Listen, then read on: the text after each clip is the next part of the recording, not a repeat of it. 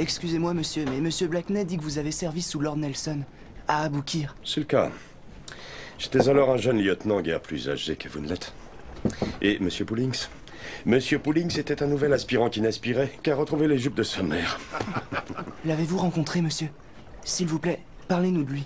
J'ai eu deux fois l'honneur de me trouver à table avec lui. Et les deux fois, il m'a parlé. Un maître tacticien et un homme d'une rare clairvoyance. Il dit toujours, dans la bataille, ne songez pas aux manœuvres. Contentez-vous d'attaquer tout droit. Pas forcément un excellent marin, à ce que l'on prétend, mais un meneur s'il en est. Le seul atout du royaume si le petit Corse tente de nous envahir. Serait-ce abusé, monsieur, que de vous demander une anecdote? La première fois qu'il s'est adressé à moi, je n'oublierai jamais ses paroles.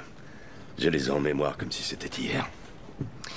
Il s'est penché sur la table et il m'a regardé droit dans les yeux. Et il a dit Aubray, pourriez-vous me passer le sel Et je me suis toujours efforcé de le dire de cette façon-là depuis ce jour. Attendez. La seconde fois. La seconde fois, il m'a dit comment un soir. Un des marins lui avait proposé son manteau tant la nuit était fraîche. Il l'a refusé, disant qu'il n'en avait nul besoin, qu'il ne ressentait pas le froid. Sa loyauté envers le roi le réchauffait amplement. Et on en rirait presque, les mêmes mots prononcés par un autre. Vous hausseriez les épaules, trouvant cela affligeant, sans y prêter le moindre intérêt. Mais venant de Nelson,